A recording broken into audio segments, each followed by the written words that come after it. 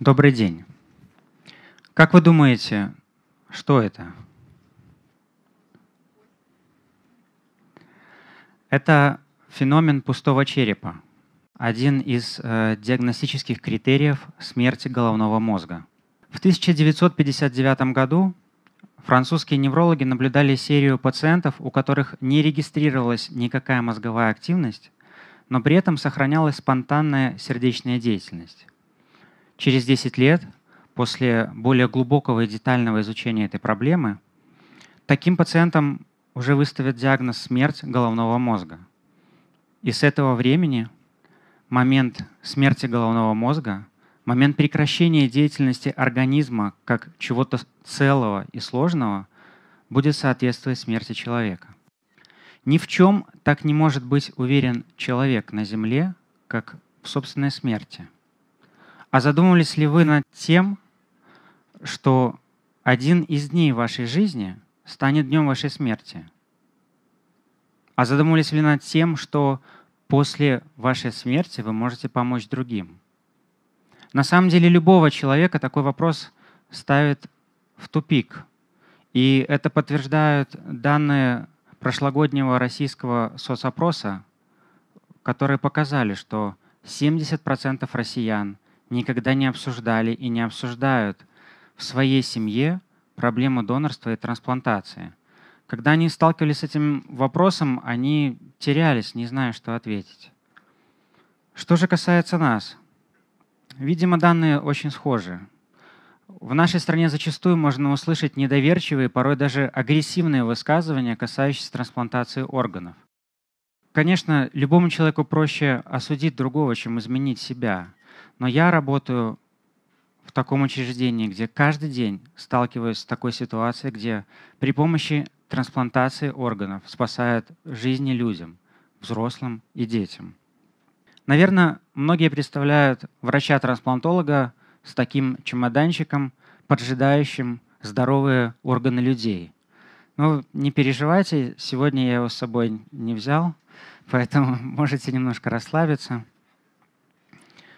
Более того, люди утверждают, что врачи специально ждут, когда побыстрее уже человек умрет, чтобы забрать его органы.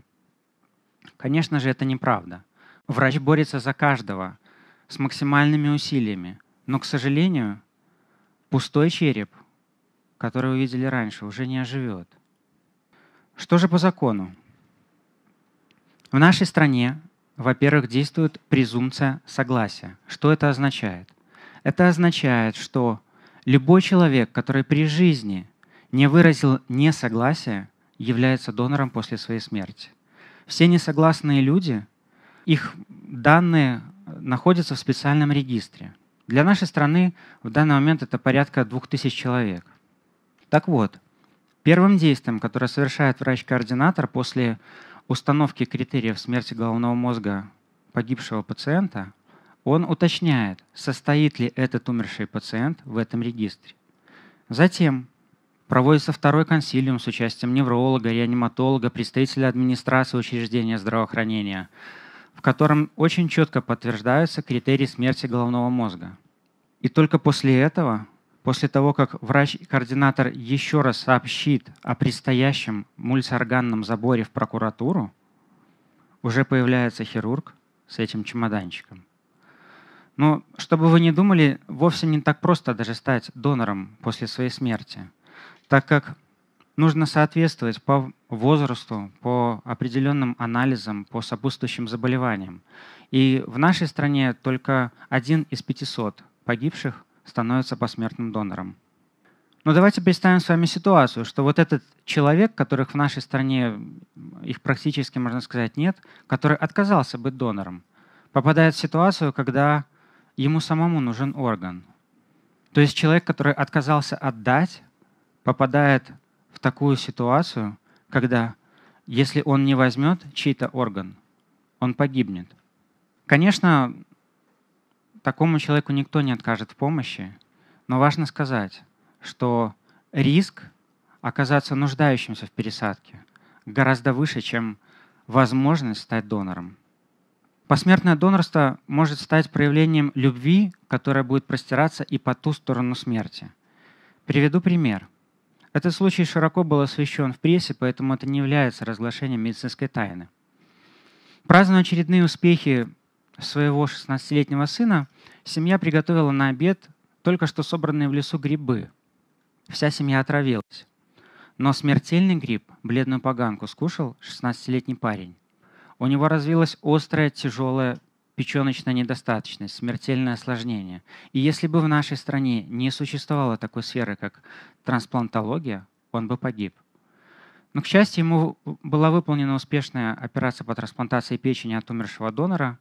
И спустя 8 лет, как вы видите на этой фотографии, он активно готовится к участию в Паралимпийских играх. В интервью он поделился тем, что он бы очень хотел узнать того человека, печень которого спасла ему жизнь. Но ему сказали, не нужно. И важно, что он для себя осознал, что он сейчас живет за двоих, а значит, и его достижения должны быть умноженными на два. Этот случай показывает ответственность такого молодого пациента за свою спасенную жизнь. И она еще раз подчеркивает тот факт, что никто из нас не застрахован среди полного благополучия попасть в такую ситуацию, когда без пересадки мы погибнем. Для продолжения жизни может использоваться или живое донорство, или посмертное. В случае живого донорства один человек может пожертвовать своей почкой, или это будет целый орган, или кусочком, например, кусочком печени. В случае же посмертного донорства умерший человек продолжает жить в каком-то другом. Что вообще говорят про трансплантацию в Республике Беларусь? Трансплантировать органы невыгодно в нашей стране. Стоимость трансплантации печени составляет порядка 20 тысяч долларов, трансплантации почки и дальнейшего лечения на год около 10 тысяч долларов. Но важно сказать, что любой человек, который страдает хроническим заболеванием почек в конечной стадии, без определенной процедуры по очистке собственной крови, он погибнет. Эта процедура называется гемодиализ. Так вот, стоимость гемодиализа для таких пациентов в два раза выше, чем стоимость трансплантации почки. Трансплантация печени – одна из самых сложных хирургических операций, которая существует в данный момент в мире. Да, с одной стороны, одна операция вроде бы одна спасенная человеческая жизнь. Но если мы можем вообще говорить о стоимости жизни человека. Но Трансплантация печени – это не одна операция, а это изменение системы. Научившись пересаживать печень, мы научились многому другому. Мы научились делать операции при опухолях печени, которые раньше считались неудаляемыми. К нам приезжают коллеги из-за рубежа на обучение. К нам приезжают пациенты из-за рубежа на лечение. И в целом Белорусские трансплантологи широко известны на постсоветском пространстве и не только. Другой достаточно частый домысел, который можно услышать, белорусские органы продают за рубеж. Конечно, это неправда. В приоритете всегда белорусы, и ни один белорусский орган не пересек границу нашей страны. Да, к нам приезжают пациенты из других государств для выполнения операций по трансплантации печени, сердца, почки. Но, во-первых, это носит характер обоюдного соглашения на уровне Министерства здравоохранения. А во-вторых, приезжают те пациенты, которые у себя на родине не могут получить такую помощь. И квота для иностранных пациентов составляет 10%. Вы знаете, Несколько лет назад это был самый часто задаваемый вопрос по телефону. И в целом э, в обществе создан такой штамп. У тебя есть проблемы какие-то с деньгами, какие-то материальные сложности. Ну так какие проблемы? Продай почку. Вот за сколько вы, вот, как, за сколько вы готовы продать собственную почку? Есть вообще какие-то мысли, желания? Я вам скажу, что здесь единственный правильный ответ – ни за сколько. Так как официально выраженное желание человеком как продать, так и купить свой орган является уголовно наказуемым. И, естественно, в нашей стране это полностью запрещено. Так все-таки какая она трансплантология в Республике Беларусь? Трансплантология в Беларуси сегодня – это более 500 операций в год. Это более 20 женщин, которые перенесли пересадку, которые родили здоровых детей. Это локомотив высокотехнологичной медицины. И это та сфера, по которой нашу страну узнают за рубежом. Трансплантация органов спасает жизни. Трансплантация органов и донорство в первую очередь является проявлением небезразличия, если можем сказать, любви одного человека к другому. А посмертное донорство позволяет, дает шанс каждому выразить это небезразличие и любовь к своему близкому человеку. Так как для вас теперь звучит этот вопрос? Все-таки трансплантация органов – это возможность взять или возможность безвозмездно отдать. Спасибо.